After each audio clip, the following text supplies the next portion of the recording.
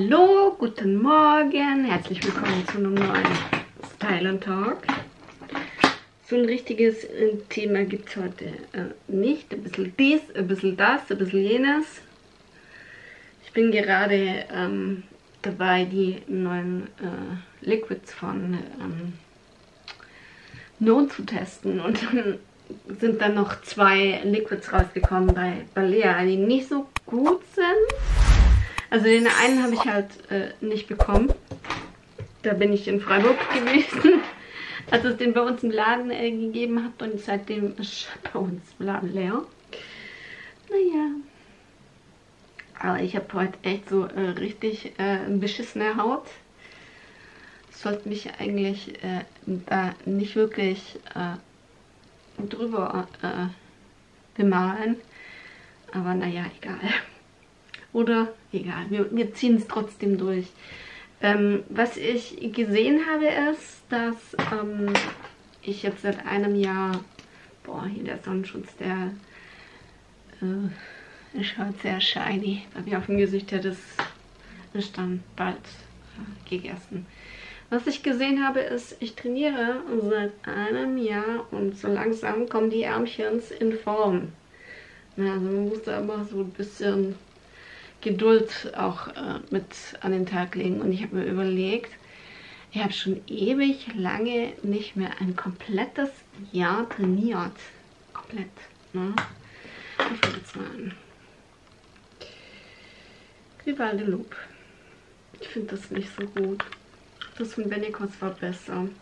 Das ist sehr wachsig. Aber das brauche ich heute, weil ich sehr viele Hummel im Gesicht habe. Und ja, ich mir auch wieder so ein bisschen äh, im Gesicht rumgedrückt habe. Hashtag äh, Skinpacking. Bei ähm, Rot hilft Grün. Die Bros unter euch, die äh, wissen das ja.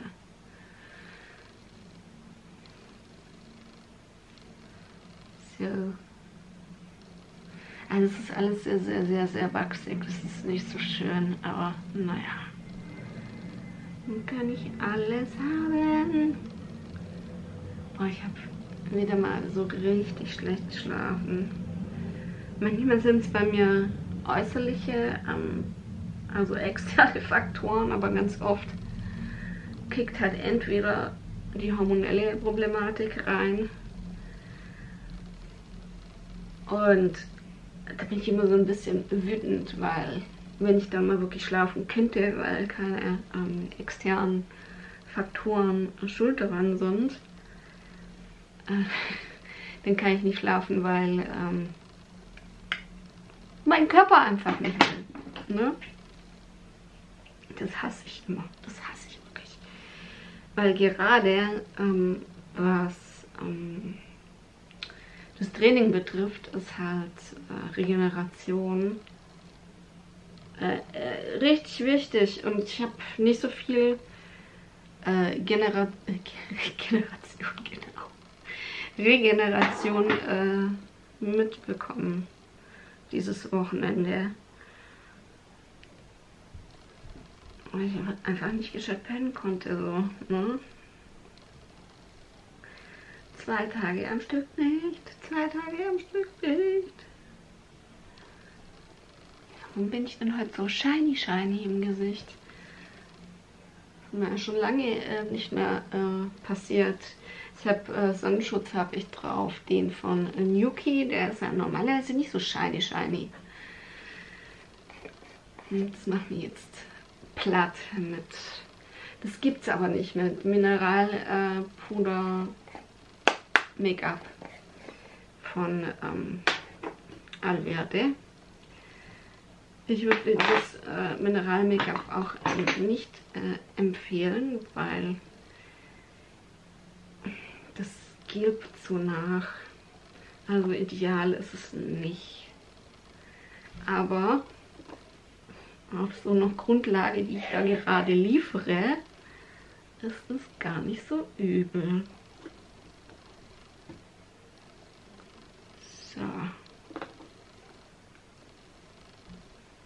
Und mit Grundlage meine ich, dieses Fettige, da haftet natürlich das Mineral-Make-up richtig gut.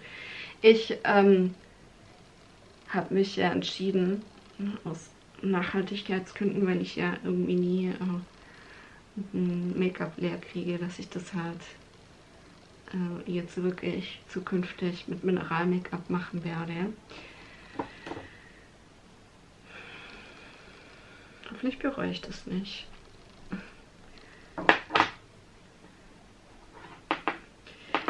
Dieses Gefäß, wo das Mineral-Make-up drin ist, das ist so dreckig. Wahnsinn. Das ist Wahnsinn.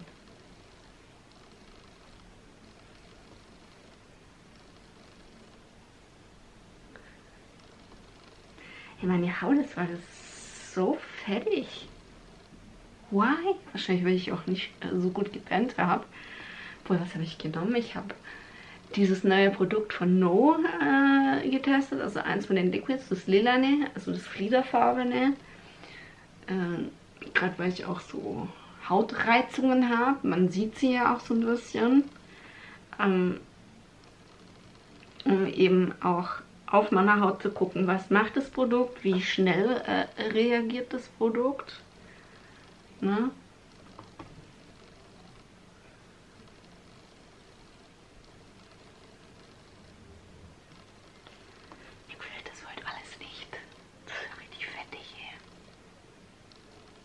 Das ist ja richtig fertig.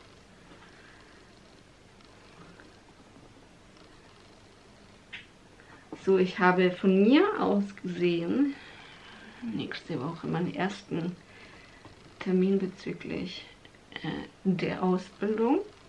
Ich bin etwas nervös, muss ich sagen, denn ich weiß immer noch nicht so hundertprozentig, äh, wie ich das jetzt mache, denn konzentrationstechnisch ist es bei mir halt schon so, ich kann mich gerade im Moment, im Moment ist es richtig heftig, ich kann mich nicht so, also nicht konstant konzentrieren, nicht gar nicht. Und ich muss halt gucken, wie ich das halt mache, jetzt erstmal ohne Medis. Wahrscheinlich werde ich äh, Medis im November verschrieben bekommen und da habe ich halt auch so ein bisschen Schiss, was ich äh, mir zu viel, vorstelle. Äh, von was rede ich? Ich rede von ADHS-Medikamenten. Und dann ist ja auch noch die Möglichkeit, äh, dass die Diagnos Diagnostik nichts ergibt. Und das glaube ich aber weniger. Aber je mehr ich an den Termin komme, das sind ja zwei Termine Ende Oktober, desto nervöser bin ich. Und desto mehr fragst du dich natürlich schon so ein bisschen, hast du das? Oder hast du das nicht? Wirklich? Na? Naja.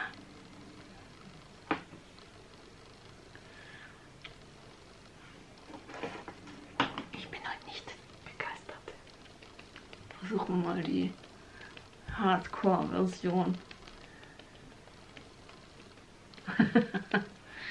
hey, Wahnsinn. Ja, jetzt geht's langsam.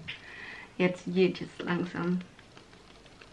Ah, normalerweise reicht das immer, ich das mit dem Pinsel auftrage.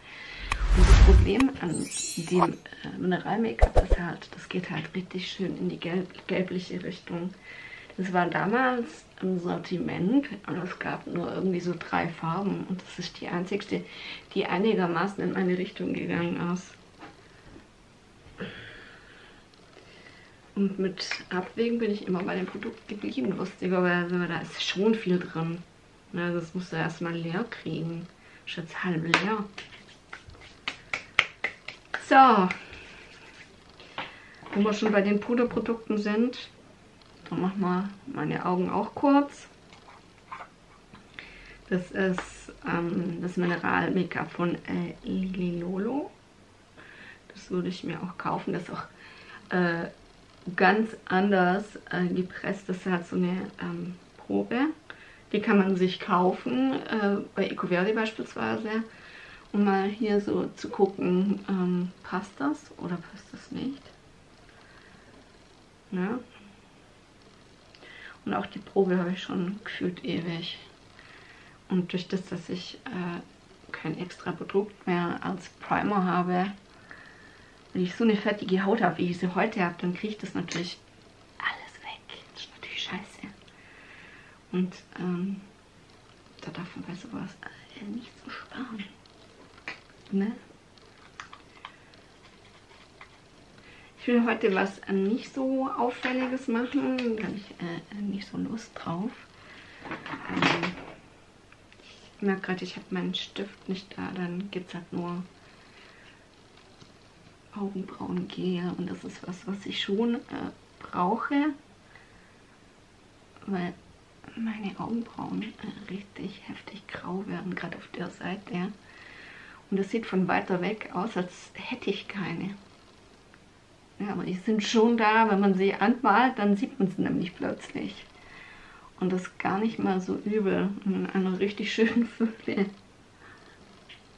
Ich bin mir da schon immer so ein bisschen am überlegen, ob ich die mal nachfärben soll. Wir hatten da Erfahrung äh, damit. Könnt ihr mir gerne mal äh, in die Kommentare schreiben. Das kann man ja auch beim Friseur so äh, machen, nebenher. Äh, ich muss jetzt eh äh, dann bald mal wieder Haare schneiden. Momentan bin ich lustigerweise ganz zufrieden. Nur mit meinem Pony hat ich den nicht selber geschnitten. Da schimpfen sie ja beim nächsten Mal wieder. Komm doch lieber vorbei und so. Weißt dann. Aber ähm, erstens, äh, meistens passt es nicht von der Zeit her, wenn du dann keinen Termin hast. Und das beim meinem Friseur ist das echt super. Äh, ich nehme übrigens das hier und ich denke, ich werde mal den hier verwenden und den hier. Das ist so alltagsmäßig gar nicht mal so übel. Ähm, was wollte ich jetzt gerade sagen? Ähm, bei meinem Friseur ist das halt so toll, äh, ich muss da nichts zahlen für. Also für so Stammkunden kurz Pony schneiden. Ist aber auch äh, mega interessant. Ähm, das macht halt jeder irgendwie so ein bisschen anders, ne? Und da merkst du halt, warum äh, das selber schneiden. Es gibt Leute, die das super gut können. Ich kann es nicht. Ich kann es wirklich nicht. Und ich stehe auch dazu, dass ich das nicht kann. Ähm, es gibt halt Leute, die das super gut können. Ähm, aber äh, man merkt halt, wenn das eine Friseurin macht, dann die, die macht es ganz professionell. Gibt es eine, die macht es so in Schichten. Eine andere macht es mit Messer. Das ist voll crazy. Und dann hebt der auch. Ich kann mir immer nur so von zu Hause aus so ein paar Millimeter abschneiden, damit ich äh, äh noch rausgucken kann, weil sonst wird es echt krumm und schief. Von dem her Hut ab ähm, von den Leuten, die ähm, das ganz gut können. Ich kann das halt echt nicht so gut. So. Aber ich muss jetzt demnächst, wie schon gesagt, immer meine ähm, Haare wieder schneiden und bin ich mir überlegen, ob ich die Augenbrauen färben soll. Bin es mir echt am überlegen. Aber ich, ich denke mir immer so, ach, das geht schon. Das sieht man alles unter dem Pony nicht so. Aber dann gucke ich wieder in den Spiegel und denke mir, mm. Ich verwende übrigens von Lavera den Eyeliner, der ist nicht schlecht. Und bei solchen Produkten achte ich halt schon immer ganz gerne darauf, dass das halt Naturkosmetik ist, weil es halt durchweg auch vorkommen kann, dass gerade in solchen Produkten äh, Mikroplastik drin ist. Da wird gerade bei so äh, Hair-Kosmetik ähm, und bei Deko-Kosmetik wird einfach immer noch viel zu wenig drauf reagiert. Ich bin so gespannt, wenn ich die ADHS-Medikamente habe, ob das mit dem Handyzittern besser wird. Ich bin so gespannt. Ich bin so gespannt.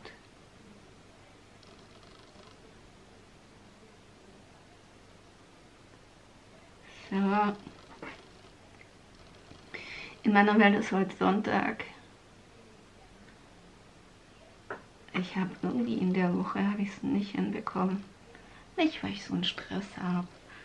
Ich habe es einfach nicht hinbekommen. Ich hatte schon Anfang der Woche gemerkt, dass die Woche nicht so gut laufen wird. Ähm, meine obligatorischen vier Videos die Woche zu machen.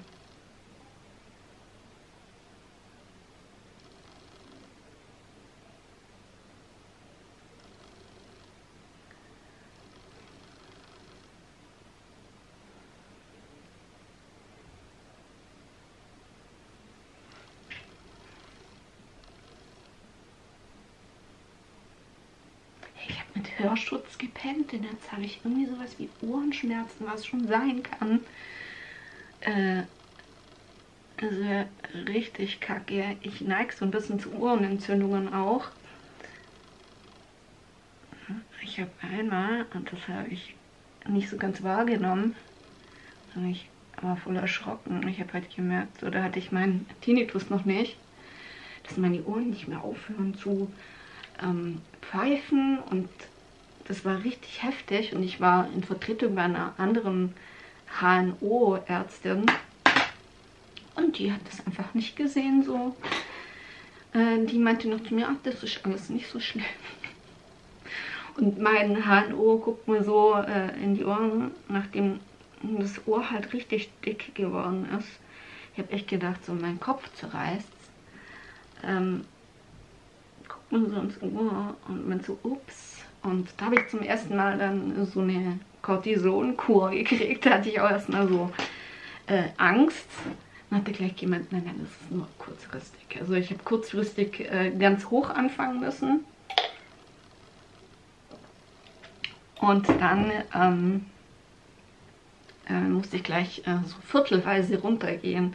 Also du fängst mit äh, einer Cortisonzahl X an und dann gehst du viertelweise, weil du die Tabletten so vierteln konntest, runter. Gleich wieder. Ich dachte echt, als ich da die erste genommen habe, so, ähm, ich sehe doppelt. Also das hast du schon gemerkt, finde ich. Weil Cortison ist ja auch ein Hormon. Und wenn du eh so ein bisschen mit so äh, Stress Probleme hast, äh, Probleme hast, dann spürst du das schon. Und du weißt dabei, äh, Stress wird äh, Cortison ausgeschüttet. Ähm, ich habe das echt krass gemerkt, ja. Ich weiß, ich habe noch keine äh, Wimperntusche drauf, ich darf das nicht vergessen. Ich darf das nicht vergessen. Ich wollte übrigens tatsächlich mal ein Video machen über meine Kosmetik, die noch hier ist, die ich von damals ja noch habe und das immer so ein bisschen mit äh, kleinen Geschichten verbinden. Der Marcel und die Baba Mami haben sich das gewünscht. Äh, ich habe nicht mehr viel Sachen von früher. Das ist aber zum Beispiel was, was ich von einer Abonnentin gekriegt habe, weil ich kann mich noch daran erinnern. Nein, meiner ist mir hingefallen und da hat die mir ihren gegeben.